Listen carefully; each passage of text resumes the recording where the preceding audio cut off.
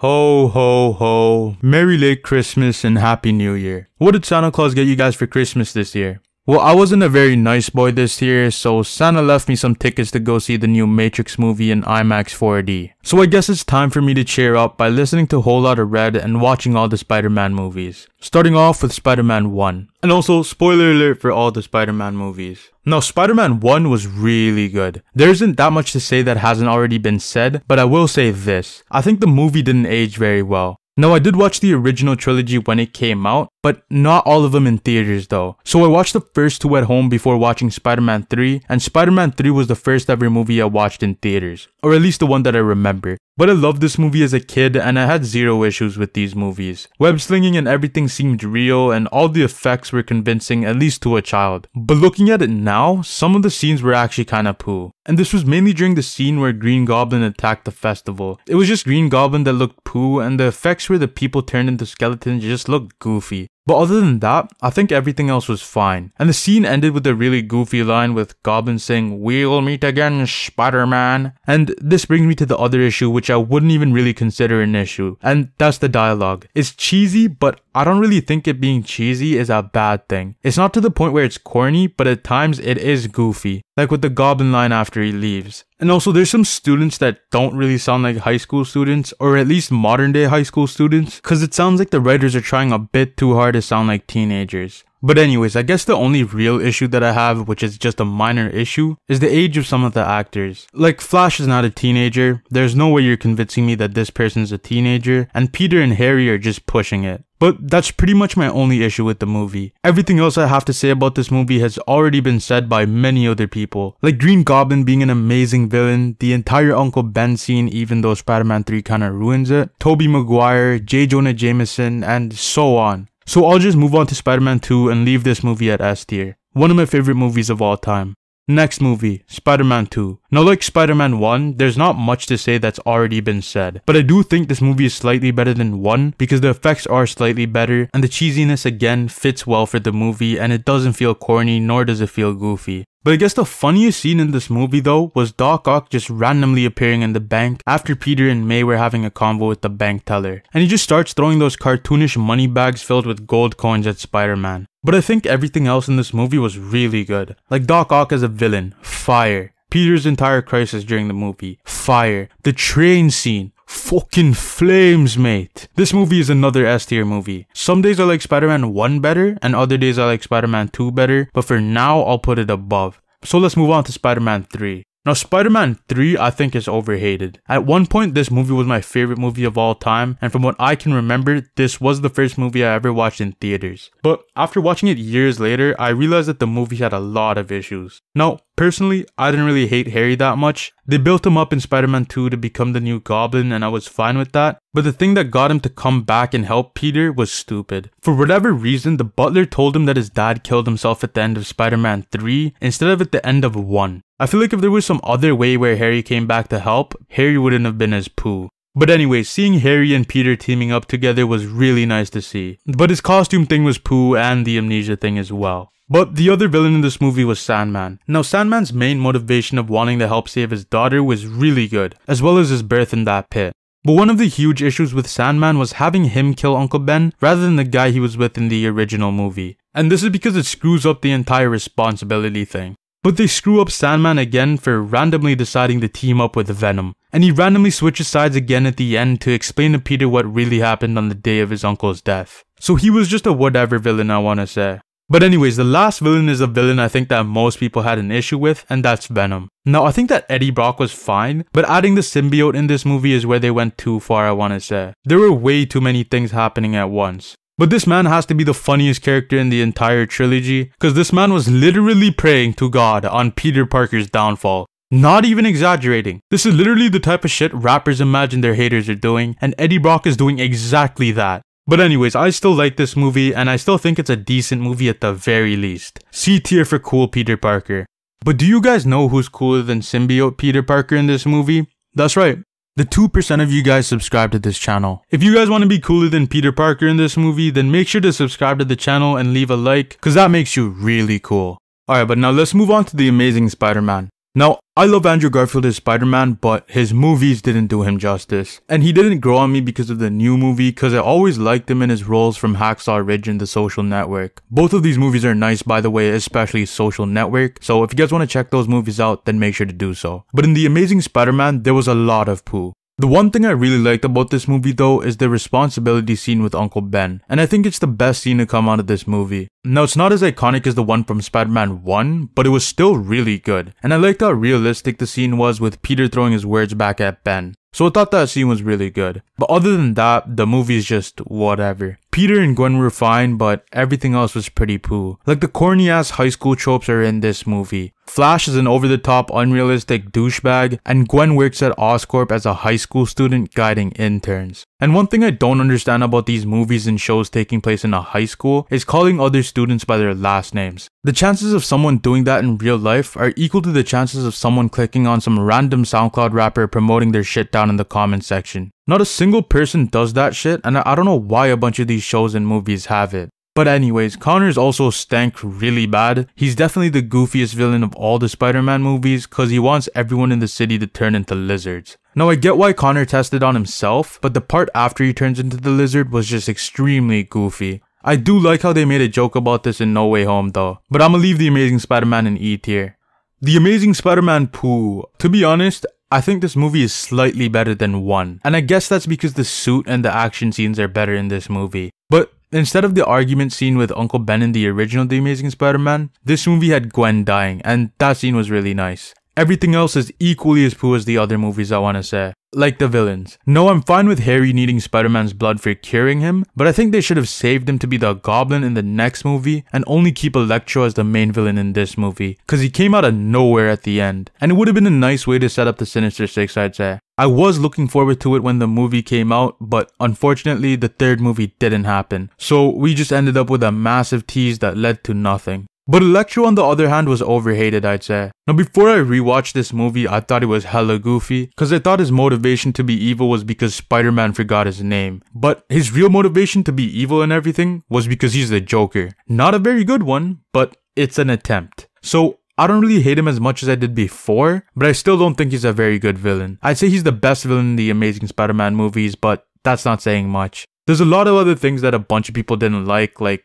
the thing with Peter's dad, but personally, I didn't hate it as much. But I definitely like the idea that Spider-Man could have been anybody and not just the kid of the scientist that made the spiders. But what saves this movie and makes it better than the Amazing Spider-Man in my opinion is the action. This movie had some of the nicest scenes visually. You got the attack on Times Square, the final Electro fight, and Gwen's death. So the action was just top tier in this movie. But overall, I think this movie was meh. I'ma leave it in the E tier above the Amazing Spider-Man. Now, I really liked Homecoming. I know some people didn't like it before No Way Home, but after it came out, it fixed a lot of issues with MCU Spider-Man. Now I personally never had an issue with no Uncle Ben and everything, but I do appreciate this movie more after No Way Home. This was the first movie of the three-part origin story for MCU Spider-Man, and I think it was done very well. The first thing this movie slaps all the other Spider-Man movies in is the dialogue. They actually sound like high school students and not older people trying to sound like high school students. Flash isn't a Netflix bully either, and he's a regular human being, and Peter, Ned, Liz, and MJ are also people you'd remember from your high school and not some live-action anime character. Now, some people had an issue with the jokes and felt like there were too many of them, but from what I can remember, I thought they were fine. The last time I watched this movie was in theaters, by the way, but I saw this movie as like a comedy superhero movie, and I thought the jokes were all good. It was one of the funniest movies I've seen in a while. But aside from the comedy, I think the movie nailed the serious aspects of it as well. I really liked how he gave up the suit and proved himself wrong to Tony, and I really liked the Vulture. He wasn't just the Tony Stark villain, because he actually resonated with Peter. But this movie had a lot of really good scenes, like the scene where Peter arrives at Liz's house, the car ride to the homecoming dance, and the scene where he lifts up the rubble.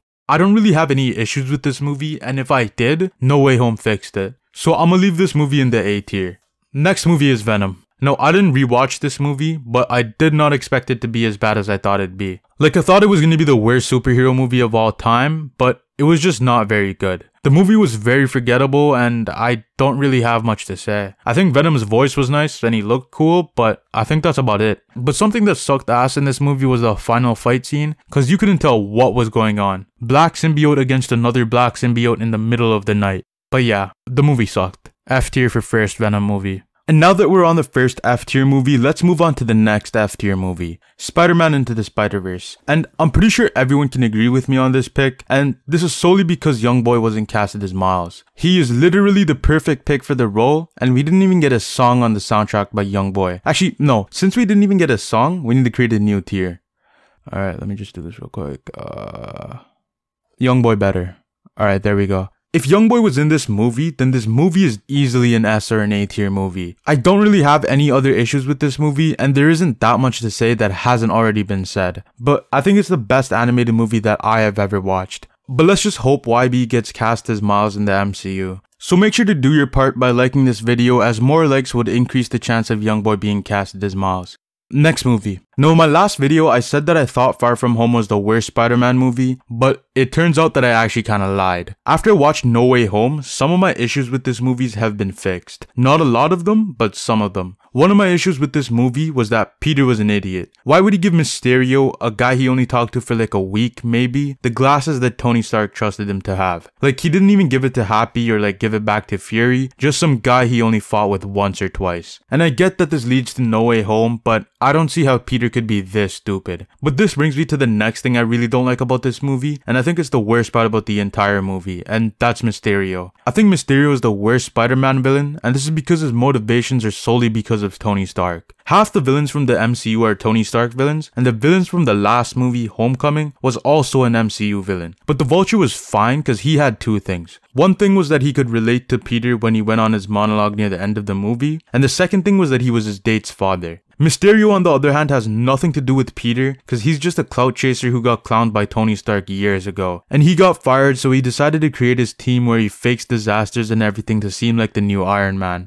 That's it. So I think he's even worse than like Goblin, and I'm talking about the Amazing Spider-Man Goblin, and even Lizard, because they seemed more original than another Tony Stark villain. But anyways, I do like what it led up to, and that was the reveal of Peter's identity. I think that was the best part about the entire movie, the mid-credit scene. And personally, it's my favorite post-credit scene of any movie I've seen. Everything else in this movie was just kinda poo, including Peter and MJ. Peter thought she was a weirdo in Homecoming, but all of a sudden he likes her, and they don't really explain why from what I can remember. At the end of Homecoming, he didn't give two shits about her, but at the beginning of this movie, he likes her. So whatever happened, happened off screen, I guess. But anyways, this movie does have nice action scenes and visuals, especially with the illusion scene with Iron Man coming out of his grave and everything. But other than that, I thought this movie was pretty ass. Favorite part about this movie is the mid-credit scene with J.K. Simmons and his reveal, but that's about it.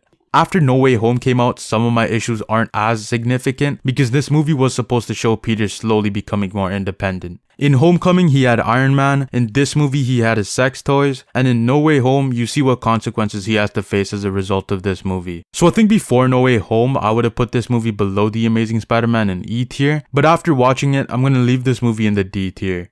Let There Be Carnage was ass, but I would be lying to you guys if I said this movie wasn't funny as shit. Now what do I remember from this movie? Not a lot. I remember Cletus Kasady being the biggest goofball villain I've seen in a long time, and he had some of the funniest lines, and he did some of the funniest shit in this movie. I don't remember specific scenes, but one thing I remember very clearly was the power up line. Carnage bit someone's head off and said power up. I was dying when I heard that shit in the theaters. But anyways, this movie was very forgettable, but admittedly fun to watch because of how funny it was. Unintentionally, of course. So I'm just gonna put this movie in the F tier under the original Venom.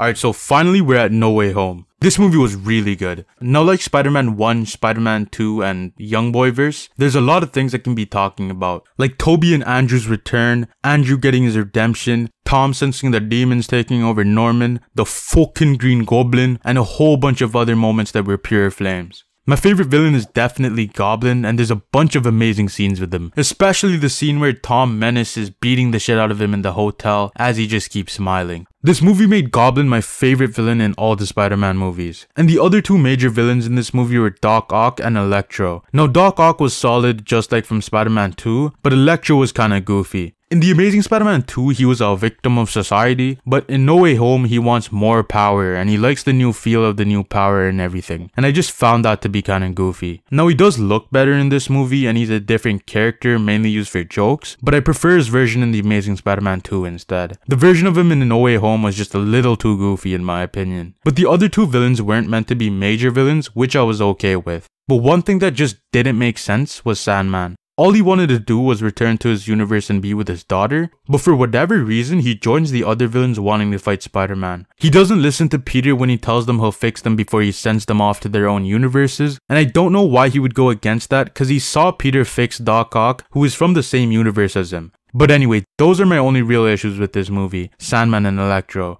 Now, some people brought up that the ending doesn't really make sense with everyone forgetting Peter because there's a lot of evidence in the world proving his existence. Like Flash's book, any Avengers video evidence maybe, and like MJ's necklace. But I don't see this as an issue because I'm pretty sure it's going to be explained in the next movie or something. Like the blip. At the end of Endgame, people wondered how they returned safely after getting snapped, but they explained how in Far From Home. So I think something similar is gonna happen in future movies, so I don't really see it as an issue right now. But other than Sandman and Electro, I don't really have any issues with this movie. I do have an issue with the trailer though, because the trailer revealed way too much. Now they did reveal that the same actors that played the villains in the older movies were returning, but I feel like they could have still hidden them in the trailers. Cause you see their reveal in the trailers, and when you see them in the trailers, it doesn't make the reveal in the movie very surprising. No, obviously from a financial standpoint it makes sense, but it does ruin the experience of the movie a bit. It doesn't only ruin that, but it also kinda confirmed the return of Tobey and Andrew. And the reason why I say kinda is because of the rumors and the reviews. Now the leaks were very annoying and I got it spoiled after seeing a picture of the three actors on the docks, and I saw a picture of Andrew in 8K, but I convinced myself that it was just from The Amazing Spider-Man, so I completely forgot about that leak. But the reviews also kinda spoiled the movie because they were all positive. And if they were all positive, then you can easily connect the dots and realize that the original actors reprised their roles and have returned in the movie. So if the trailers never had these characters, then everyone would have believed that the entire leaks were just rumors and not true.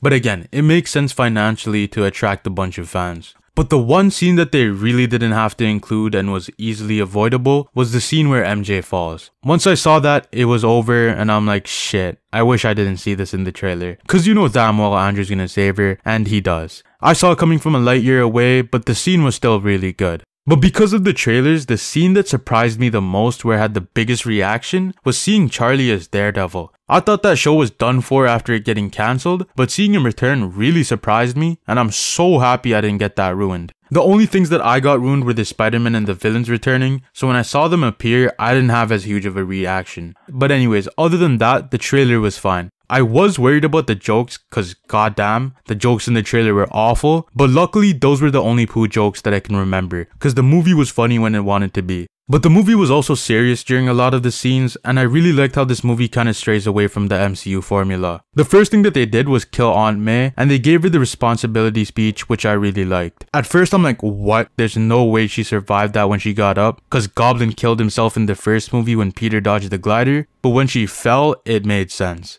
But the next thing that they did straying away from the formula was have the ending not be a very happy ending. Everyone forgets who he is, and he chose to lie to MJ by not telling her who he really is. I really liked how they concluded this with him on his own, and crafting the entire trilogy as his origin story. But there's one thing that I wish was changed that I think would have pissed off a shit ton of fans, and that's to kill Tobey Maguire when Goblin stabbed him. I just don't know why they stabbed him to be all good at the end when he has nothing to do after. I think it would have been a good closure to the character with the first ever Spider-Man villain killing off the first ever Spider-Man, but for whatever reason he survived. But since he survived, I'm assuming they have more to his character in the future. So I hope that they make a Spider-Man 4 or like have him return in the MCU, giving his character a proper conclusion. And I also really want them to make the Amazing Spider-Man 3, because Andrew Garfield could have had nice movies if the movies were made right. But I hope he fights like Tom Hardy's Venom, or I hope that they make a really good movie with him, because he was just lost potential in the Amazing Spider-Man. But anyway, I think this movie is definitely an S tier movie. I think it's top 3 but I don't know where, so I'll leave it in between Spider-Man 2 and Spider-Man 1 because I think these three movies could be interchanged. But that's my list. Let me know if I should make one for the MCU in the comments, but until then, later.